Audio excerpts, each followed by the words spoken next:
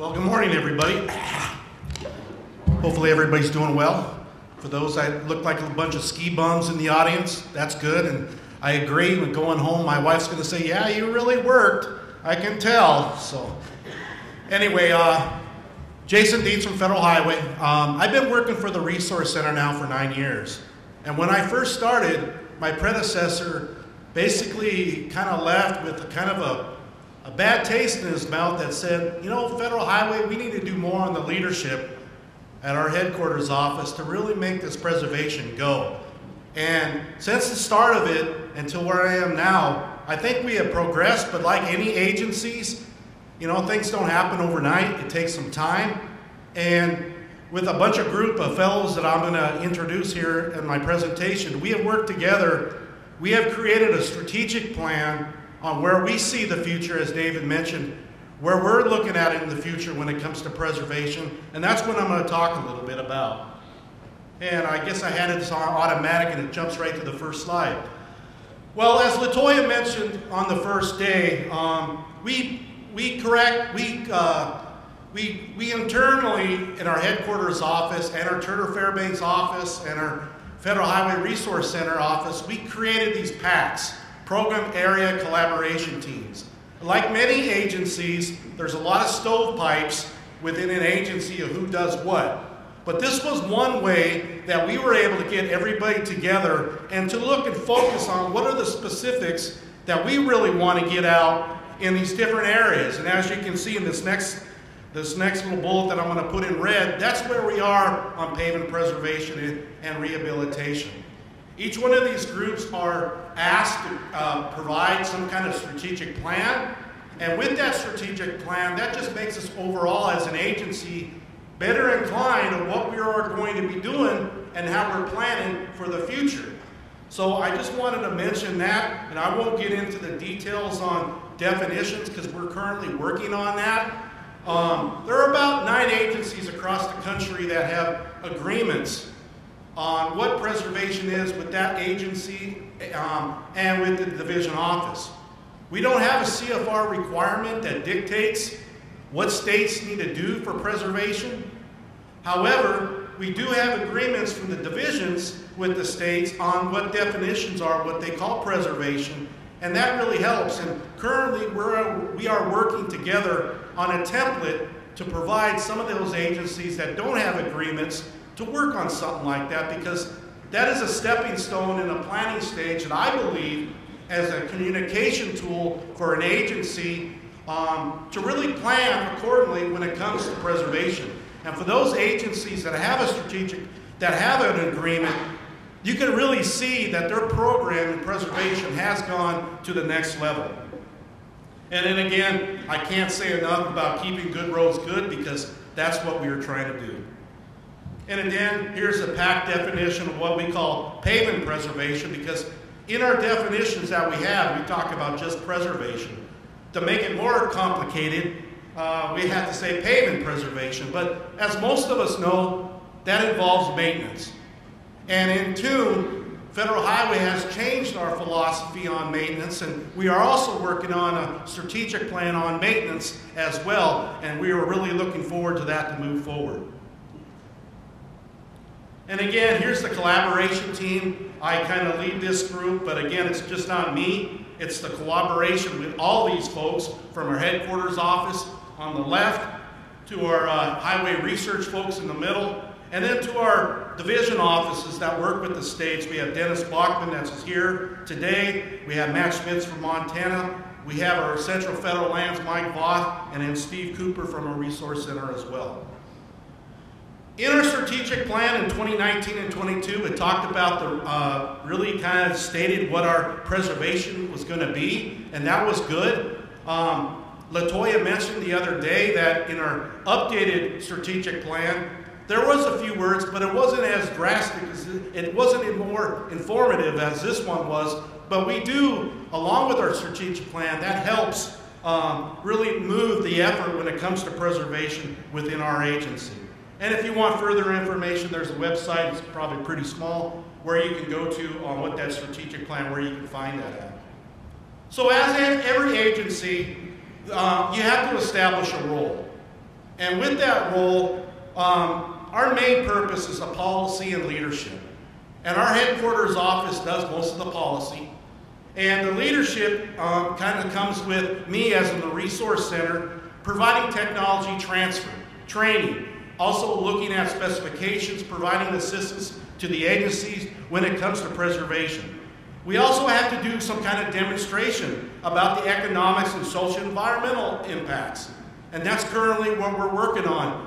As we've been told through our headquarters office, that we need to start looking at as sustainability has grown with this new leadership in our headquarters in DC. Uh, sustainability is a big effort, along with some of these other equity and some of these other things they're asking us to look more into, and we are doing that. And then also we want to conduct and sponsor research activities when it comes to preservation treatments, and I'll talk about that as we go.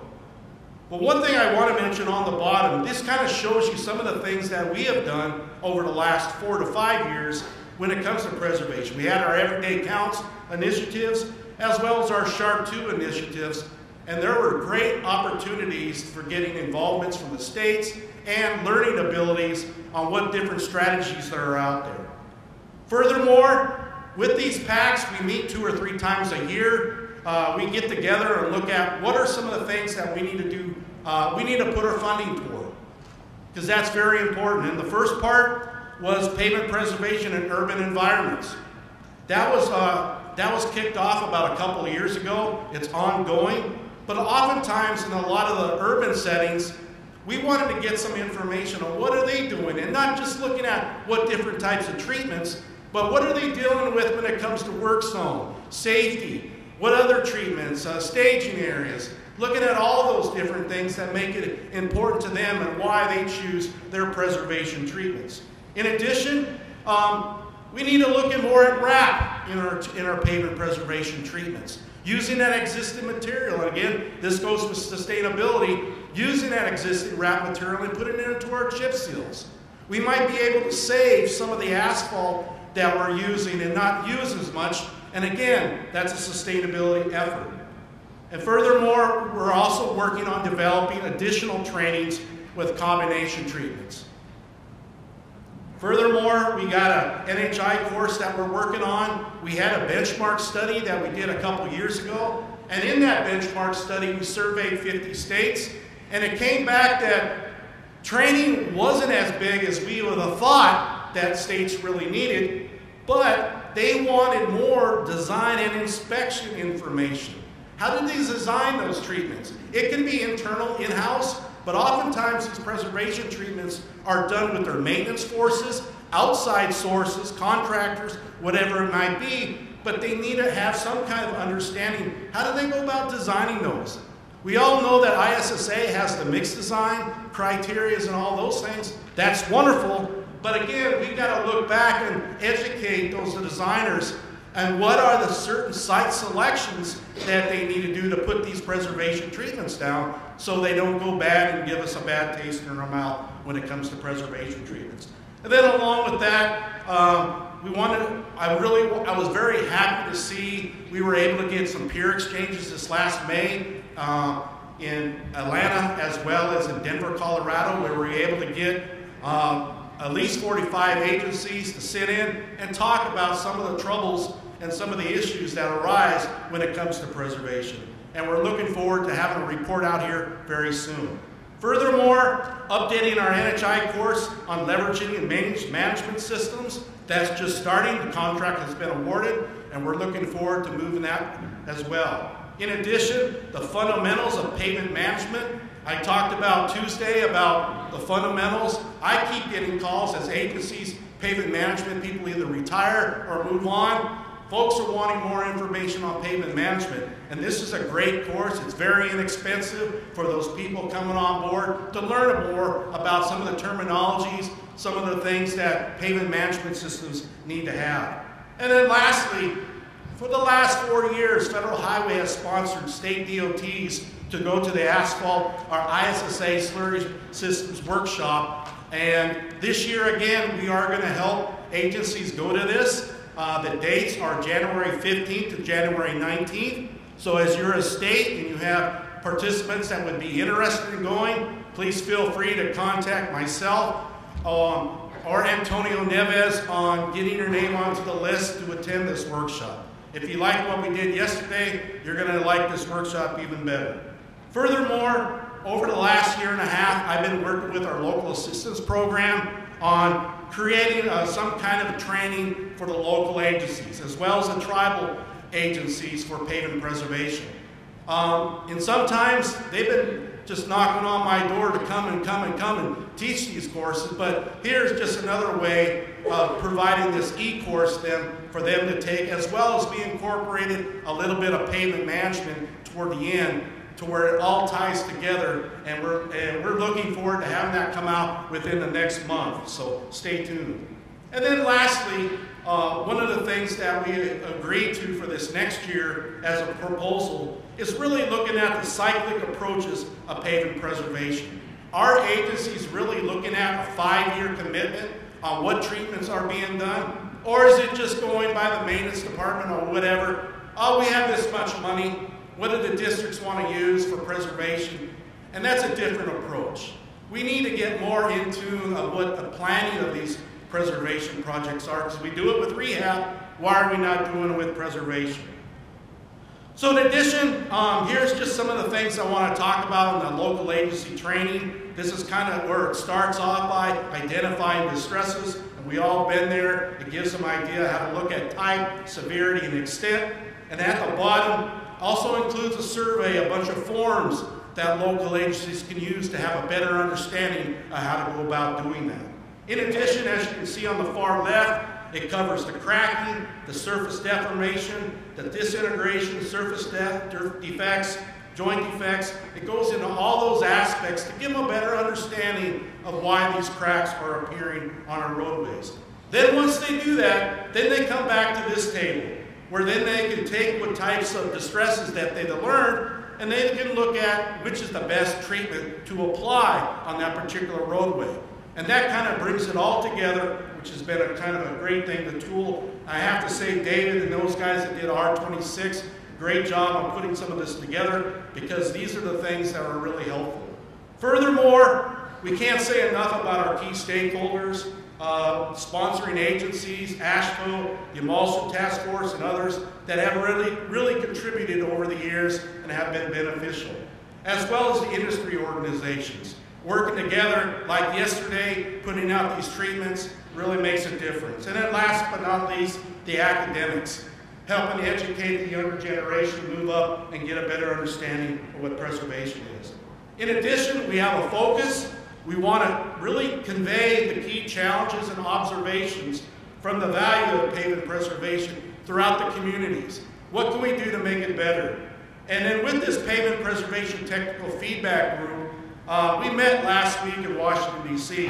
Um, really, it's just to get together on what things that we can do as we move forward um, to help the agencies, the industry, whatever it may be, to improve these efforts as we go forward. In addition, we had opportunities. What do we want to focus on? Expand the knowledge and experience, similar to these workshops. Work on demonstrating the benefits, the pooled fund studies, the other things to show what we're seeing in North Dakota, putting these projects down, showing that good pay, uh, you, know, know, putting these good uh, preservation treatments on, extend our lives of these pavements. That's what we really want to show and showcase. Encourage the agencies to become more pavement preservation oriented. We can't say enough of that. And again, when we kicked off Everyday Counts 4, we were really hoping to get more agencies providing some kind of strategic plan, but we didn't really see many. And hopefully in the future that maybe will happen. And then we also want to foster collaboration, cooperation between our partnerships. Furthermore, we do have a mission, like most, is to preserving the national highway system. And then our objective is to help the agency strategically consider and implement these pavement preservations in a data-driven, systematic manner to optimize pavement performance. Those were key words that we wanted to uh, dictate and we wanted to use. Now we're going to go into different strategies of how we're going to do each one of these. Our first strategies is to explore and disseminate pavement preservation fundamentals. We have all seen the checklist. They have been useful. But then again, where do we need to go further? And again, that's where we used our benchmark study, which hopefully in a year or less will get finalized. We really wanted to get your in, input on where we needed to go and where we needed to follow up more with our funding. Explore impact current programs, uh, look at benefits of preservation, and, and identify what those gaps are. Where do we need to focus more on? As I mentioned earlier, training wasn't one of them. It was more to get the agencies to really put these projects in their backyard. And that's where the pool fund really makes a difference. You know, we can focus on uh, different data-driven uh, processes that'll help the agencies, but agencies just need to put these preservation treatments in their backyard so they understand what all is involved with these treatments, and that's where they're going to learn. Furthermore, increased pavement preservation understanding, education, reference materials, and so forth. And again, for those that haven't seen it, we've updated our website, we're very happy, uh, Tony, for doing this. In there, you can find different resources, technical bulletins, but I want to really focus on the technical bulletin one part that we did on Everyday Counts um, 4, and where our HOW group, uh, with certain individuals, Larry Galehouse as well as Larry, have really worked on these tech briefs. And these tech briefs were discussed a little bit on the first day. These tech briefs provide a lot of useful information. A lot of effort went into these on what are the benefits, what are the agencies are using for preservation. And I'm not sure many people know about this. And they really need to look into this because there's a lot of useful information. Furthermore, let's look at strategy two, encourage effective pavement preservation programs. Develop and deploy pavement tools. Construction inspection training, that's what we're going to focus on within the next year and a half. Identify preservation considerations during pavement design. And then we want to integrate those through our performance management and our asset management process. The next keys success, when we talked about inspection and, um, and design, I really felt that uh, the key success for a pavement preservation program is being proactive with the contractor and the owner. Having those discussions early on, why is pavement preservation important and what site selection of putting these treatments down should be done, as well as following standard test methods that are out there, um, keeping up with the slurry trucks and tracking the loads of the material, very important. Um, being prepared to keep testing equipment clean, because when, not, when they're not clean, that just causes more problems. And then provide the contractor a clear direction in situations that, that may immediately change their work uh, role out there on the projects. But that communication between the contractor and agency are very important. And for those agencies that have been very successful with preservation, they've had a good key communication with the contractor. Furthermore, when it comes to project inspection, let's start off by talking about preparation. Very key. In some, doing product inspection, making sure you're taking the samples of the emulsion and also verifying the appropriate type of the materials that are being used on the job. Um, is the proper operation of the equipment on site? Is the aggregate spread rate being verified? Is the set time being verified? All those things play a major role. In addition, I can't say enough, what are we doing when it comes to aggregate quality summary? Are we looking at durability? Are we looking at soundness? I get phone calls on sand equivalency, um, how that could affect their microsurfacing of their projects. Very key. Consistency and segregation. Next comes the field sampling fabrication. What does an agency need to do when it comes to field sampling? Do we need to do it at all? Well, it, we need to, and then we also need to also make sure that the parking and fabrication locations are identified up ahead. They're not going right back onto our preservation treatment, as well as the equipment, communication, and the pugmill operations are all being done to make sure that operation's being properly done. Pulling field samples. You know, safety, we all know that's important, but also um, obtain them directly from the mixer discharge not at the, uh, not at the plant.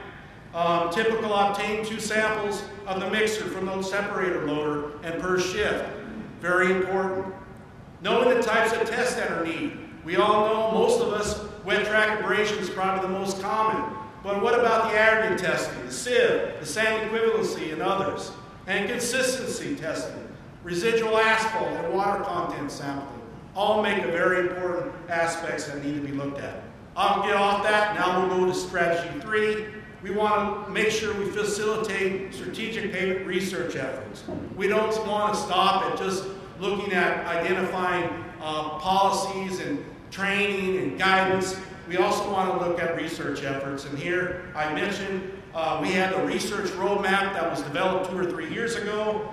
Down at the bottom of the page, there is a site through Chico State. Now there is a, where if you want to go into and look at what preservation research activities for pavement preservation are out there, you look at this site and it can provide you the latest and the greatest on these research activities. In addition, coordination uh, on these programs are important.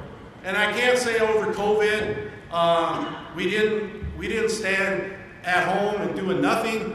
Uh, with the help of PPRA, we were very successful going out there and providing webinars, um, and they were very successful. And if you look at PPRA's site, you can see some of those webinars that were very useful and very helpful. And moving on. Lastly, we want to talk about now we have our strategies. How do they go back into our, our measurable outcomes? And there's just a few that dictate. You'll see the benchmark study, developing matrices, lead transportation pool funds, and initiate some research projects as we talked about. The next steps is to share what we're doing so hopefully other agencies can start developing some kind of plans too for their programs. Um, we're also going to update this strategic plan as we move forward. And we want to continue to carry out activities and implement our plan as we move. Lastly, as was talked about right prior to me, this was a big effort that I really wanted to get out the door because it basically, it was developed and then it just didn't have enough funding to move forward. But this pool fund effort 1581, I think it's a great opportunity for agencies to be a part of, be able to get money, and hopefully as an agency, you can tell Joel Olring and the others, what are some of the things that you really want to get out of this pool fund? Maybe it's not looking at just the data, the life cycle, and all that other stuff. Maybe it's just more of a focus on putting some treatments down that you have never put on your roadway before and see how long they, how long they last. I think that's very important. Moving on, here's some of the contact people from our headquarters office, myself, and research that has worked together on this. And then here's our website with the QR code uh, for further information.